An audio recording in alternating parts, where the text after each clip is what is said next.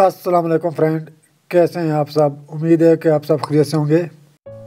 हमारी आज की वीडियो स्ट्रिंग ऑफ़ बनाना को कटिंग से ग्रो करने के बारे में कि स्ट्रिंग ऑफ़ बनाना को कटिंग से कैसे ग्रो किया जाता है। स्ट्रिंग ऑफ़ बनाना एक सेकुलेंट प्लांट है।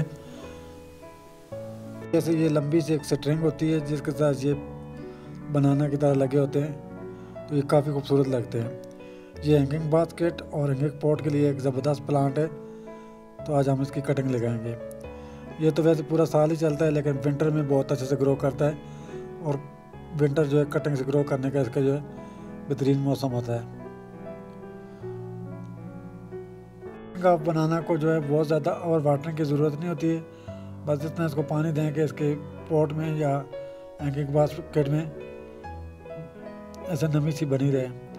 ये सेमी शेड और फुल धूप में दोनों में बहुत अच्छे से ग्रो करता है। ये हमारा एंगिंग पॉट में कुछ स्ट्रिंग ऑफ़ बनाने के प्लांट लगे हुए थे तो उनको जो मैंने रिपोर्ट किया तो ये मैंने कुछ प्लांट इसमें लगा लिए तो कुछ कटिंग काट ली है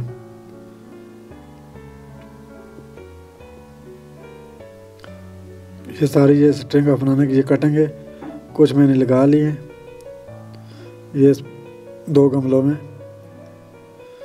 तो कुछ जो है ये आपके साथ शेयर करेंगे, कैसे इनको लगाया जाता है।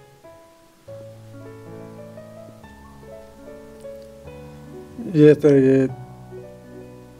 ये इसकी कटिंग इसके साथ इस तरह छोटी छोटी ये रूट होती हैं थोड़े थोड़े फासले पे।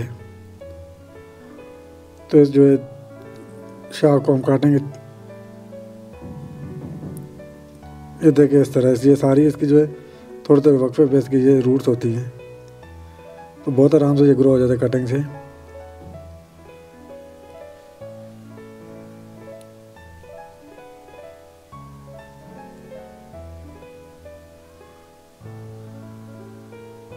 ये हमने पहले गमले में मिट्टी पाली है, इसमें कुछ भी नहीं डाला, बस सिर्फ़ मिट्टी है, कोई खाद वगैरह नहीं है इसमें। तो हम इसकी ये कटिंग ऐसे काट लेंगे। ये देखे इस तरह।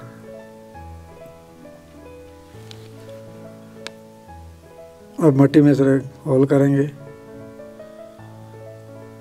और ये कटिंग इसमें लगा देंगे।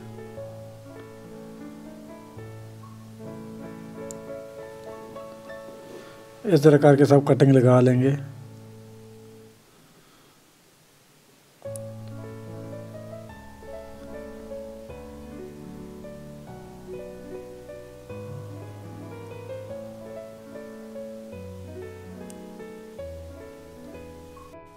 स्ट्रिंग ऑफ़ बनाना को कटिंग से ग्रो करने का एक ये भी तरीका है।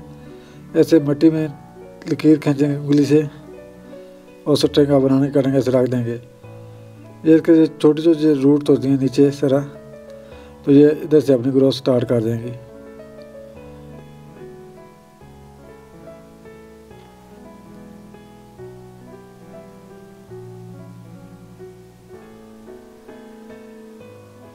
एक बर्तन में हमने पानी पा लिया है तो अब जो जो कटिंग लगाई है, इसमें रख देंगे, ताकि पानी जो नीचे से सारा ऊपर तक इसको जो है आराम से लग जाए।